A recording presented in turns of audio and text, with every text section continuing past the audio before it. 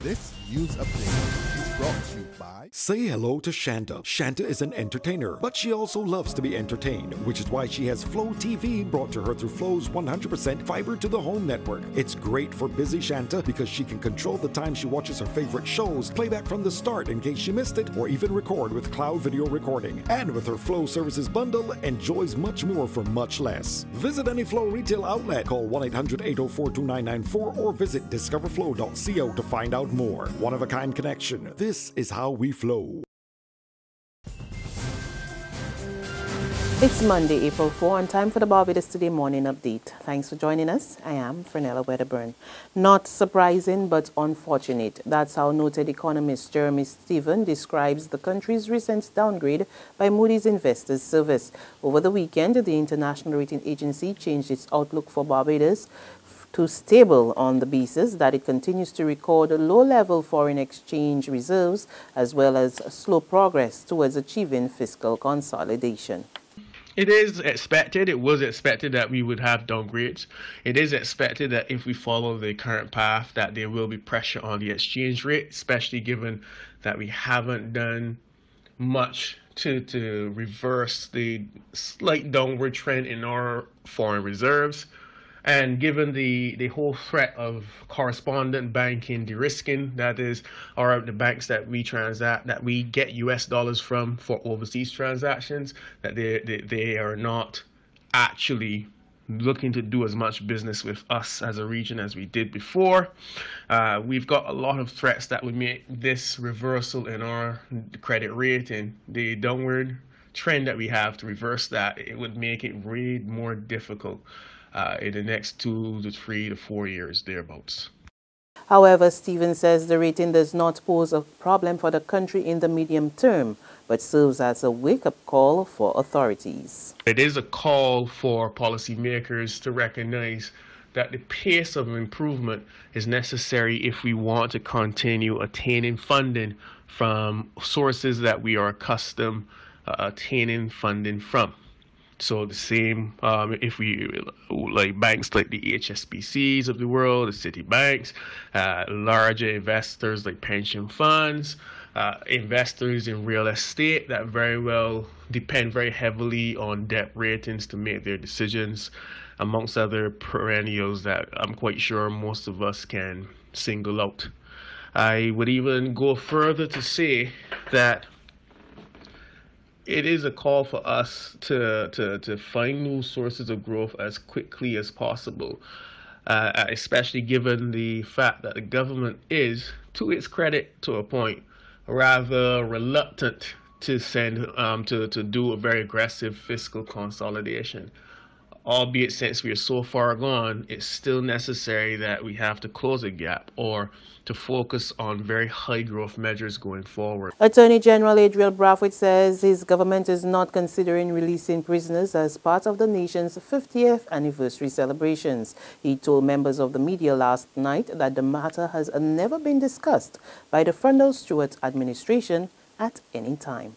I don't know where this speculation came from about the release of, of prisoners um, as part of our 50th anniversary celebration. Um, in fact, we've had no such discussions whatsoever. I did read an article um, where um, Senator David Jewin um, is alleged to have echoed um, such sentiments. David, I understand David's position as, as a man of the cloth and as a man of God. Um, but it's certainly, as I said, certainly not an, an issue that government has discussed at all. And, and as you know, as Minister of Home Affairs, um, the prison falls under my portfolio. Uh, so I can tell you that we've had no such discussions whatsoever. There is a call for the controversy surrounding the marking of school-based assessment projects to be taken before CARICOM. It comes from a President of the Barbados National Council of Parent Teachers Associations, uh, Sean Gibbs, who says that the issue has been dragging on for much too long. He made the comments over the weekend as he addressed the BNCPTA's annual general meeting at the St. Michael's School, where he was re-elected for a second term. After a year of can canvassing this matter, having spoken to our counterparts in Jamaica, where the Caribbean Union of Teachers is headquarters, and our Trinidad counterparts, this matter have not reached national levels in those countries. So the Barbados situation still remains unique.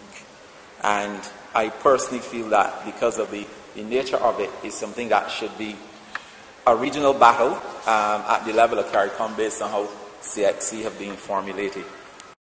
In other news, fire officials are probing a blaze in Maxwell Christchurch. A two-story house, which was apparently up for sale, was extensively damaged by the blaze yesterday afternoon. Two tenders and eight firemen responded to the blaze around 2 p.m. under the command of Divisional Officer Errol Gaskin. To sports now and congratulatory messages continue to pour in for West Indies men and women. The regional sides lifted both titles yesterday in style. In the men's game, Barbadian Carlos Brathwaite hit the first four balls of the final over for six as the West Indies turned England in Kolkata. West Indies, who were 11 for 3 in pursuit of England's 159 for 9, needed 19 off the final over to win, and they did it in style.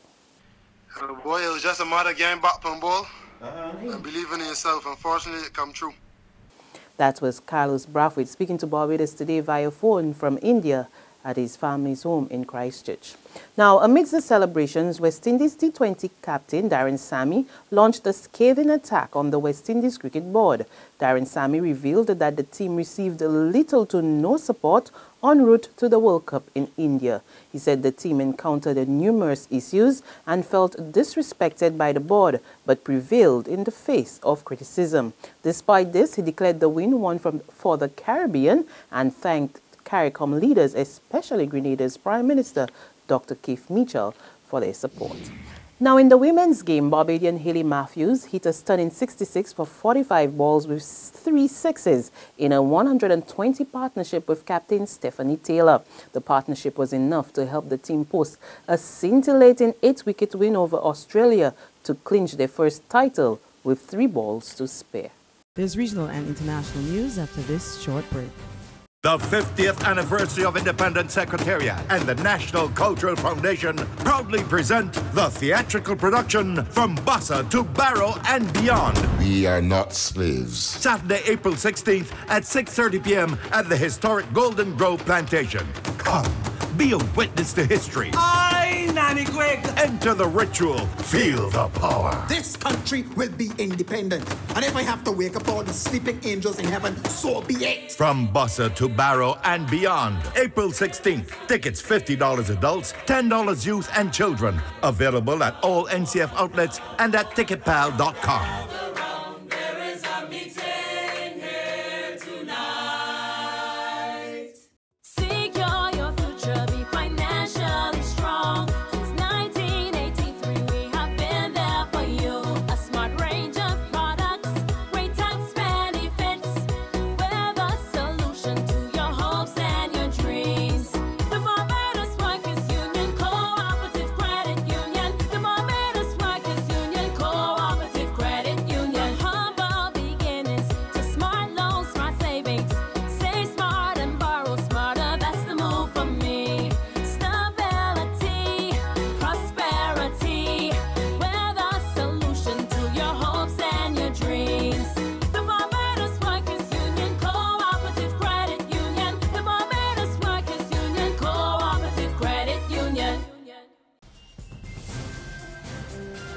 And we pick up with news from the region, Trinidad and Tobago, to be exact, where a 23-year-old becomes the country's first pregnant woman to be diagnosed with the dreaded Zika virus. More in this report from TV6 News.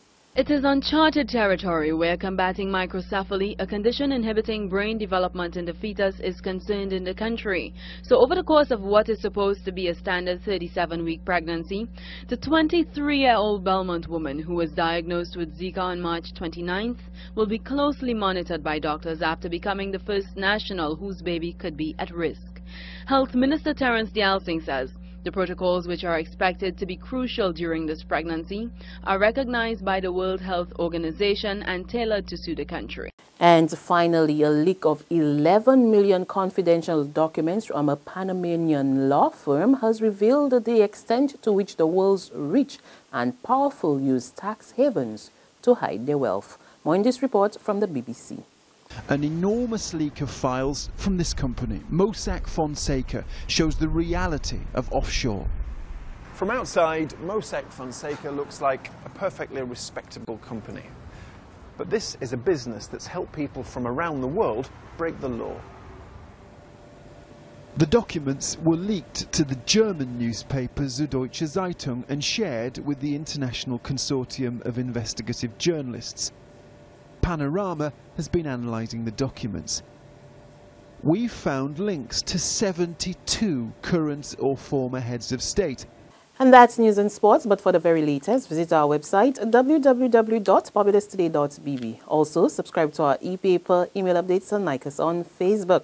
We're also on Izumi Media in bus terminals or screenplay at supermarkets and gas stations near you, as well as channel 99 on Flow TV and the Mix 96.9 FM. I'm Frenella Wedderburn. Good morning.